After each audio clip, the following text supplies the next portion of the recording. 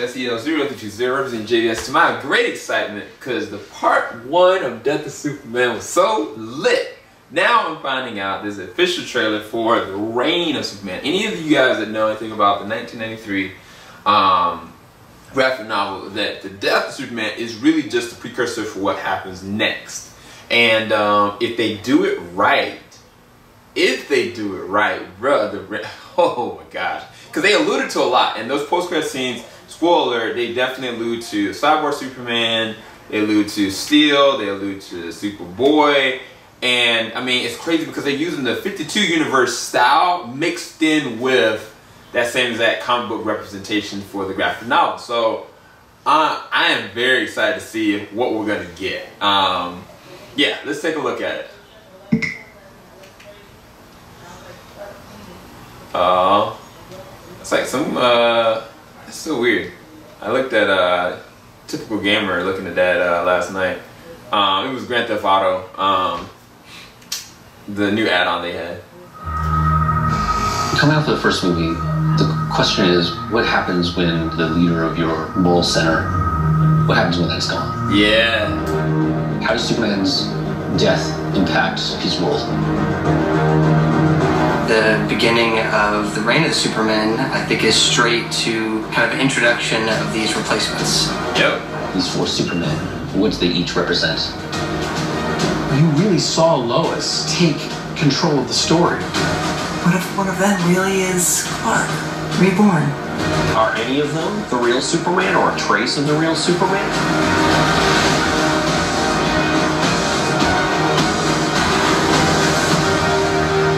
This is gonna be crazy. This is gonna be so crazy. They look just like their counterparts in the. Superman represents hope. And at the end of Death of Superman, that hope is lost.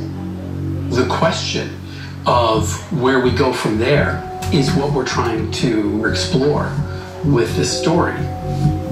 We learn from Superman Doomsday.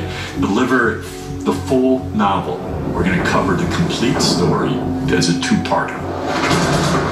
We were able to take the book and amplify it, kick up the stakes a little bit. So the threat, it's more threatening than ever. The four Supermen, um, they each have their own agenda, some good, some bad. Superboy is uh, say it's Superman if he'd been raised by the Kardashians. John Henry Irons represents the humanity and heart that is that Superman brings to the show. The Eradicator That's gonna be interesting. represents the quarter of Superman that is the last son of Krypton. Cyborg Superman is really the power of Superman. Yep. He's just a little devoid of of emotion. Dang, man. Death of Superman is about how we destroy our heroes, and Reign of the Supermen is about how we make them.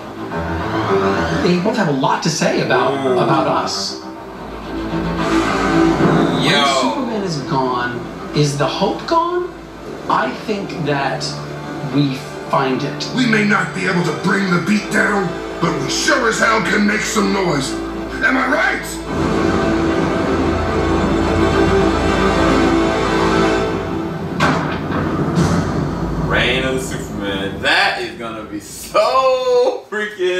Dope.